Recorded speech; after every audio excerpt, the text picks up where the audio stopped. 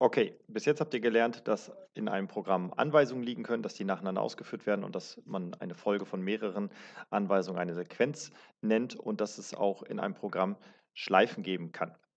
Und in Schleifen können Anweisungen oder auch ganze Sequenzen liegen. Äh, bis jetzt hatten wir in einem Programm immer nur eine einzige Folge von Anweisungen.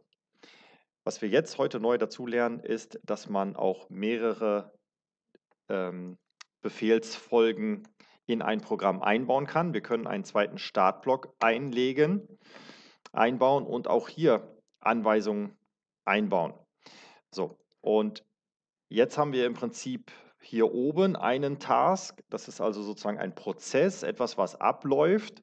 Und wir haben, wenn dieses komplette Programm hier, bestehend aus allem, was wir jetzt hier sehen, gestartet wird, noch einen zweiten Task, einen sogenannten Aktivitätsträger und dadurch kann der Roboter zwei Dinge parallel gleichzeitig bearbeiten. Man könnte jetzt auch noch mehrere Startblöcke einziehen.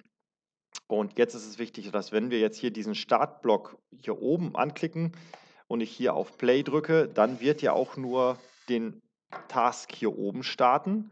Und wenn ich hier auf Play klicke, dann wird ja auch nur den unteren Task starten.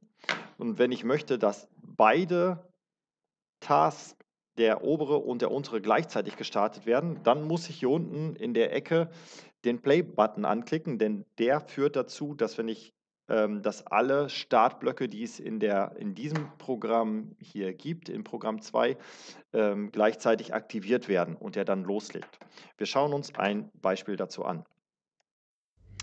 Wir sehen hier ein Programm, was aus zwei Tasks besteht. In dem oberen Task wird erst darauf gewartet, dass der Farbsensor die Farbe Rot erkennt. Wenn die Anweisung erfüllt ist, wird die Anweisung bringe die LEDs zum Blinken und zwar in Rot ausgeführt und danach folgt die Anweisung warte 5 Sekunden und dann ist der obere Task beendet. In dem unteren Task wird zunächst die Warteanweisung ausgeführt. Soll darauf gewartet werden, dass die Entfernung kleiner als 5 cm wird. Wenn die, Anweisung, die Warteanweisung ausgeführt wurde, wird der Motor A zu, äh, gestartet mit Leistung 50 und wenn die Anweisung ausgeführt wurde, wird nochmal 5 Sekunden gewartet und dann ist der untere Task beendet. Wir drücken jetzt hier unten in der Ecke auf Play, sodass beide Tasks gleichzeitig gestartet werden. Wir erkennen jetzt hier an der schraffierten Fläche hier und hier, dass die auch parallel bearbeitet werden. Wir sehen den Roboter, der das jetzt gleichzeitig ausführt. So, jetzt verringern wir mal die Entfernung, die gemessen wird, unter 5 cm. Der Motor wird jetzt hier gestartet und jetzt wird unten die Anweisung warte 5 Sekunden noch zu Ende gemacht und dann ist der untere Task beendet. Wir sehen aber, dass der Motor sich immer noch dreht.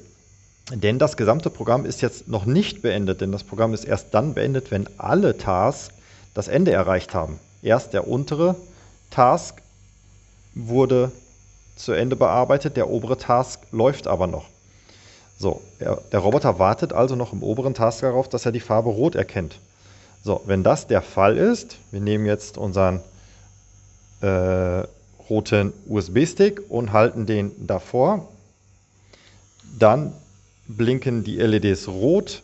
Erst in dem oberen Task hat das noch fünf Sekunden, hat noch fünf Sekunden gewartet und jetzt ist er hier am Ende angelangt. Und wenn alle Tasks am Ende angelangt sind in einem Multitasking-Programm, dann wird natürlich am Ende, wie vorher auch schon, werden alle Motoren wieder ausgeschaltet, die LEDs werden zurückgesetzt, der Bildschirm wird zurückgesetzt, gegebenenfalls gestartete Töne werden aufgehört abzuspielen und dann ist erst das Programm beendet. So, ihr wisst jetzt, wie man mehrere Tasks in ein Programm einbaut, die der Roboter dann parallel abarbeitet. Ihr habt euch vielleicht schon gefragt, was bringt es denn, wenn wir so eine Schleife auf unbegrenzt stellen können, wenn er dann nie wieder da rausgeht und nie die Anweisung erreicht, die hinter dieser Schleife liegen. Weil wir jetzt einen zweiten Task haben, können wir auch die Endlosschleife, die in einem anderen Task gestartet wurde, abbrechen. Dazu brauchen wir den Interrupt-Block. Interrupt heißt unterbrechen auf Englisch und den bauen wir jetzt hier ein. Und jetzt kann man dieser Schleife hier oben einen Namen geben. Wir klicken hier mal rein und sagen einfach, das hier ist die Schleife, in der der Roboter äh, drehen und wenden soll. fahre und drehe. Ist vielleicht ein besserer Name. So, und jetzt stelle ich hier unten ein, welche Schleifen denn unterbrochen werden sollen. Und zwar alle Schleifen, die den Namen fahre und drehe tragen, sollen unterbrochen werden, wenn dieser Anweisungsblock hier erreicht wird. So, wir gucken uns an, was dann passiert, wenn wir das starten. So, wir starten beide Tasks gleichzeitig, indem wir hier unten wieder den Play-Button drücken. Beide Tasks laufen jetzt. In dem oberen Task bleibt der Roboter erstmal endlos in der Schleife. In dem unteren Task wird jetzt gewartet darauf, dass ein roter Gegenstand erkannt wird. Und erst dann wird die obere Schleife abgebrochen. So, wir halten jetzt einen roten Gegenstand vor den Farbsensor und jetzt sehen wir, er ist rot am Blinken. Er ist also oben aus der Schleife herausgesprungen. Die Schleife wurde ja manuell abgebrochen und ähm, die Schleife ist ja so gesehen auch eine Anweisung und dann macht das Programm einfach in dem oberen Task mit den Anweisungen danach weiter. Hat den, die Anweisung hier gestartet, hat diese Anweisung gestartet und da mit dem Erreichen des Interrupt-Blocks der untere Task beendet wurde, bedeutet das zwangsläufig, dass sobald auch der obere Task hier ähm, die letzte Anweisung warte fünf Sekunden ausgeführt hat, dass das komplette Programm beendet ist. Und dementsprechend wird wieder alles zurückgesetzt und die Steintasten blinken auch nicht mehr rot und äh, er fährt auch nicht mehr und hat also jetzt eine Endlosschleife abgebrochen.